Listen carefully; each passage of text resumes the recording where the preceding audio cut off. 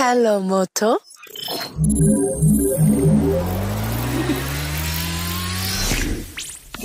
Pois muito bem. Eu estava com saudade de fazer unboxings de produtos Motorola. E hoje, justamente chega na minha mão o Master, o Mega, o Top Motorola Edge Plus. Cara, fazia um bom tempo que a Motorola não lançava um flagship, ou seja, um celular top de linha. E os caras me mandam justamente essa nave aqui. Meu amigo, vamos conhecer agora.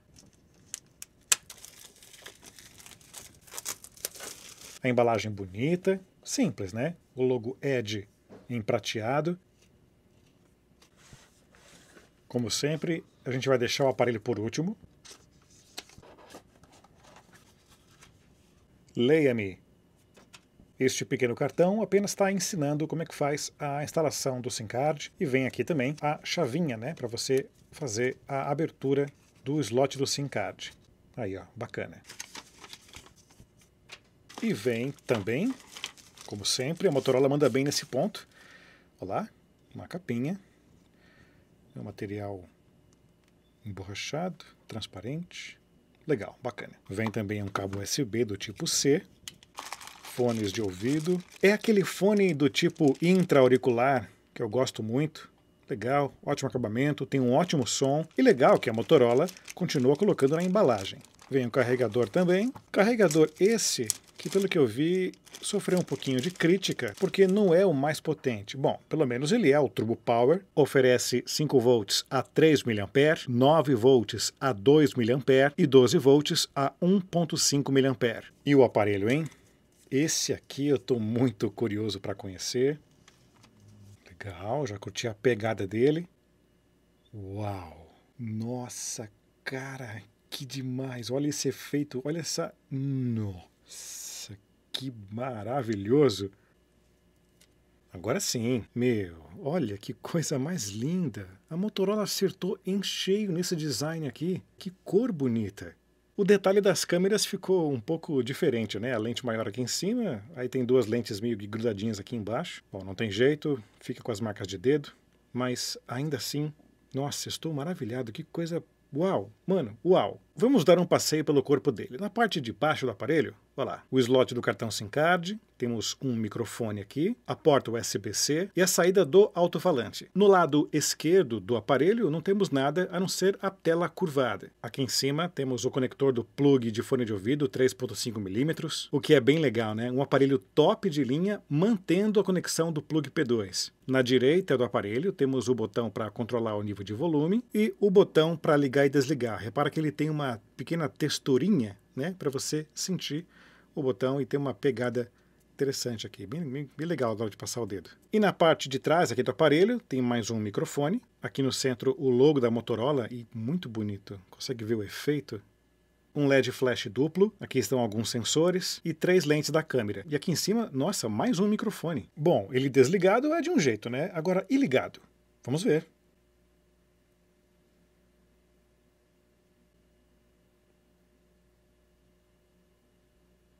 Nossa, a inicialização dele é bem bonita. Aqui na tela inicial já dá para ter uma boa ideia da tela curvada do Motorola Edge Plus. Deixa o aparelho muito bonito. Pronto, já está ativado. Vou fazer aqui o desbloqueio. Mano, a tela dele é linda, cara. Olha esse papel de parede aqui nativo do Motorola. Olha isso, que coisa linda. E aí as bordas, nossa, cara. Sensacional, né? Agora sim, o aparelho tem, né? A Motorola tem aqui um aparelho com aspecto premium. Que lindo, velho. Bom, como vocês viram, o desbloqueio da tela também pode ser por digital, né, por leitura biométrica, e o sensor está bem debaixo do display. Não é o mais rápido do mundo, mas até que ele é eficiente. Vou fazer aqui uns testes. Ó, já falhou aqui.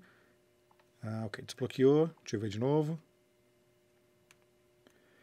É, para ser franco, é foda, né? Eu, eu, eu não gosto embora é uma moda e tal, eu, eu não acho o desbloqueio com o sensor embaixo do display o mais eficiente. Eu sempre vou preferir um sensor físico ou na parte de trás ou na lateral, né? Mas, enfim, é a solução que a Motorola encontrou para poder ter o recurso, né, na sua tela incrível. E realmente a tela é impressionante, cara. Ele é compridão, tanto que eu achei que a proporção do aparelho fosse 21 por 9, mas não é. A tela do Motorola Edge Plus usa a tecnologia OLED. Possui 6.7 polegadas. O aproveitamento de tela é excelente. Ele vai ter um pouquinho de borda aqui embaixo e uma bordinha mais fininha em cima, mas por causa das laterais em cascata é praticamente 95% da frente dele tela. A resolução desse display é de 1080 por 2340 e a proporção da tela é de 19,5 por 9, contendo 385 pixels por polegada quadrada. Possui proteção Gorilla Glass 5, taxa de atualização de 90 Hz e HDR10 Plus. Olá, tá vendo? Você pode escolher ativar o padrão de 60 Hz ou de 90 Hz. Em 60 é que minha câmera eu acho que não consegue pegar, né?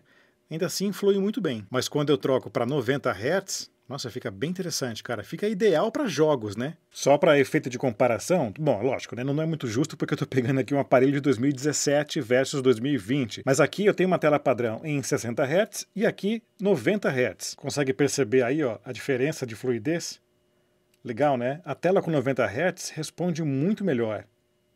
Mas antes de continuar, deixa eu desativar esse comando por gestos, porque ah, eu não gosto, cara. Sei que todo mundo gosta, é o mais atual, mas eu acho péssimo, cara. Eu sempre vou preferir a navegação por botões, porque para mim é, ai, puta, que alívio, cara. Eu, eu, ah, não, muito melhor. Eu não gosto de navegar da forma nova, eu sou mais tradicional. E aí, vai vendo, né? Fazendo aqui um teste, por exemplo, com o Google Chrome, eu posso perceber que as bordas, realmente, elas têm essa questão do, do da borda infinita, né? Que traz a, a imagem da tela bem para o canto da, da, do display. Talvez nem todo mundo goste desse padrão de imagem, e dá para alterar. Dentro das configurações do Android, você vai em tela, e aí nas opções avançadas, você pode controlar a questão da borda infinita. E aí você escolhe qual aplicativo você vai usar, ou, enfim, não usar o recurso da borda infinita. Por exemplo, eu vou desligar aqui o recurso para o Chrome. E aí, quando eu volto lá no navegador, Olha que interessante. Aí as bordas elas não vão tanto para dentro, o que pode ser para algumas pessoas confortável na hora de visualizar o conteúdo, mas você tira todo o charme da cascata lateral que tem esse display. Quer pôr de volta?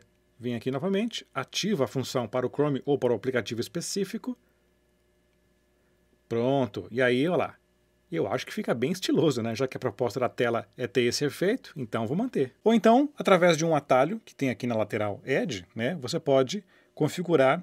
Olha que legal. Percebe como que ele se adapta? Tipo, aqui na luz melhor. Expandindo, menor. Expandindo, menor. E este mesmo atalho lateral pode ser configurado da seguinte forma. Arrastando ele para baixo, o aparelho abre o menu superior do Android. Arrastando para cima, ele abre os aplicativos recentes. Agora, um recurso que foi apresentado lá no Galaxy S6, lembra? Que era uma espécie de menu escondido na lateral do aparelho. Você arrastando de fora para dentro, ele abre um pequeno menu de atalhos. E você pode editar esses atalhos ao seu gosto. É bem legal, com isso você ganha bastante utilidade para essas cascatas laterais. E aí, olha essa imagem que demais, velho. Algumas pessoas reclamam que pode ser muito saturado as cores, mas eu acho lindíssimo. As bordas é, olha que interessante, é, é, tela mesmo, né? Pode incomodar na hora de fazer a reprodução de alguns vídeos. Aí vai depender muito da proporção do vídeo original. Como esse vídeo está sendo exibido em 16 por 9, né, da sua fonte original, acaba criando tarjas pretas nas laterais do aparelho, já que a proporção da tela é muito maior do que o vídeo original que eu falei. Agora, se você fizer o movimento de pinça, olha lá, aí ele expande para 100% da tela do aparelho. Mas fica um pouco esquisito a questão da, da cascata, né? Porque ela puxa a tela para o lado. E aí dá a impressão que você perde um pouco da lateral.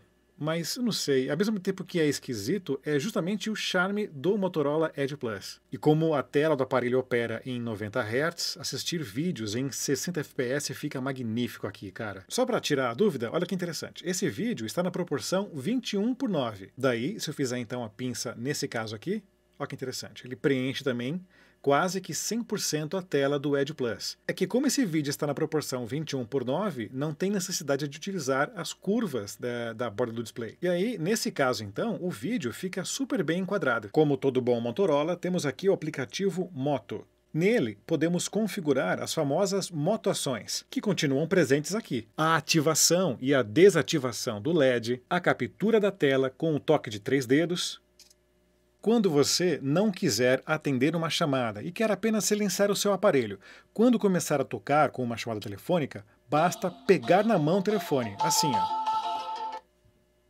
Legal, né? A ativação da câmera e também a inversão da câmera para a câmera frontal.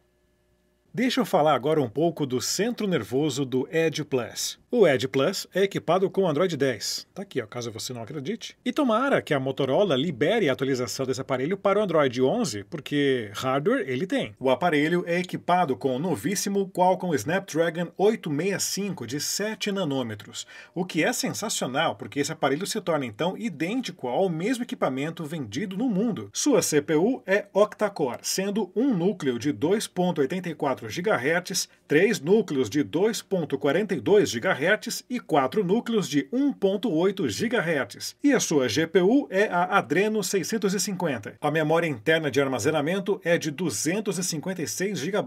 O aparelho não possui slot de expansão de memória, mas também não precisa. E todo o seu processamento é impulsionado por 12 GB de RAM. Cara, pensa, Snapdragon 865 com 12 GB de RAM tá de parabéns. É de fato um aparelho premium vai conseguir rodar qualquer aplicação pesada numa boa. A bateria é um item bem legal também, são 5.000 mAh e ela suporta o carregamento rápido de 18 watts, que é o caso do carregador que vem na embalagem, carregamento rápido via wireless de até 15 watts e o carregamento reverso de até 5 watts, ou seja, através do wireless, que tem um sensor aqui atrás, você pode carregar outros dispositivos, fones de ouvido ou até mesmo celulares. E o som?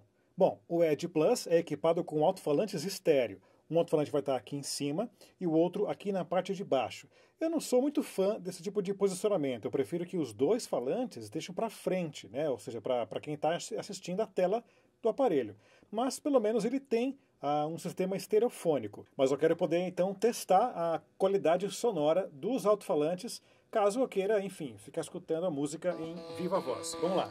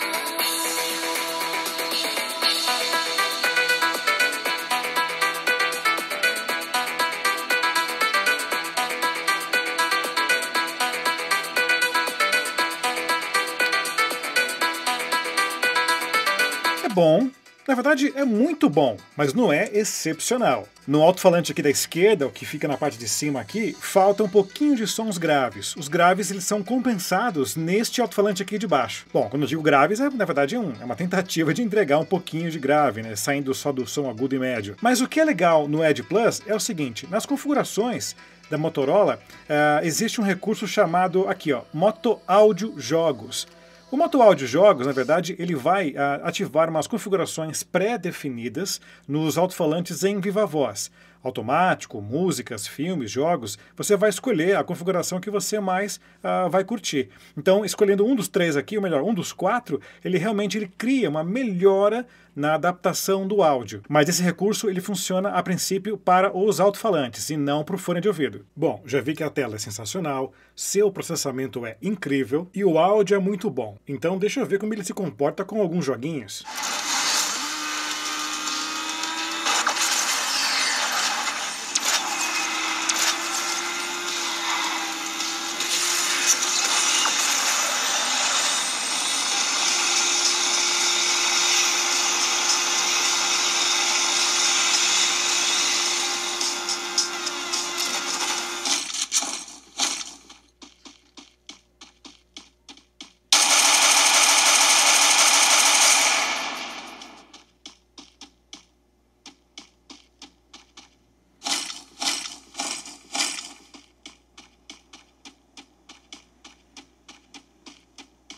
Agora, uma paradinha que é bem legal aqui no Edge Plus é uma configuração chamada de é, modo game. Tem um botãozinho aqui escondidinho no canto da tela que ele abre algumas opções. Uma delas é ativar uma espécie de botão LR virtual bem no cantinho aqui das bordas. Tá vendo? Dependendo do, do game, você pode configurar. No caso aqui, eu vou mostrar para vocês. Eu vou acessar o LR, personalizar. Tá vendo? E aí eu posso definir aonde eu quero colocar cada botão. O botão R eu coloquei aqui e o botão L, vou deixar bem aqui em cima. Beleza. E aí, na hora que eu vou manipular aqui o jogo, eu estou segurando como se fosse um joystick. O botão específico para tiro e o botão específico, olha lá, para mirar. E aí eu posso então ficar andando né, aqui nos meus jogos de tiro, posso mirar sem me preocupar em ter que ficar mirando e atirando ao mesmo tempo, porque aí eu vou ter aqui o meu indicador livre para tirar à vontade, como se fosse um joystick. E as câmeras? Vamos lá. Sendo a câmera principal de 108 megapixels com abertura de f1.8 e presente aqui estabilização ótica. A segunda câmera tem 8 megapixels com abertura de f2.4, se tratando, na verdade, de uma pequena teleobjetiva com zoom ótico de 3 vezes e também estabilização ótica. E a terceira câmera possui 16 megapixels com abertura de f2.2, sendo essa especializada especializada em imagens ultra-wide. E aqui nos sensores, há um sensor TOF para identificação do ambiente. A câmera traseira consegue filmar em Full HD a 60 quadros por segundo, mas como é possível ver aqui nas configurações da câmera, nem mesmo em 4K e nem em 6K é possível filmar em 60 fps. Já a câmera frontal é uma câmera de 25 megapixels com abertura de f2.0 e ela filma no máximo em Full HD e pelo visto também não dá para selecionar 60 fps.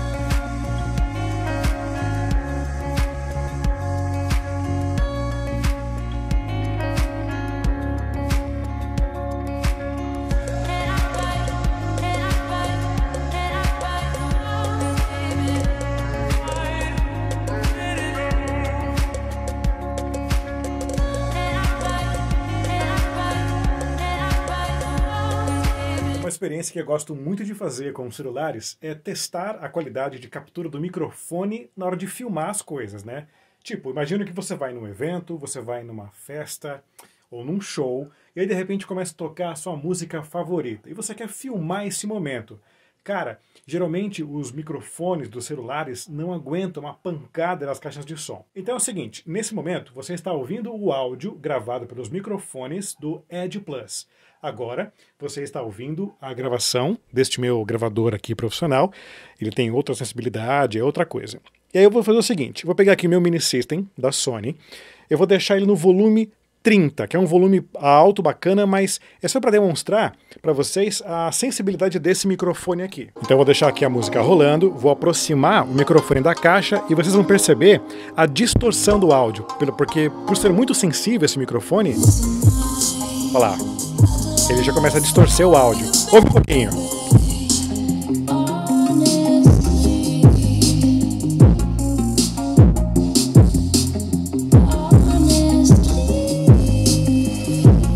Enfim, fica bem ruim, né? Agora, a partir desse momento, é a gravação do microfone do Edge Plus. Vamos lá!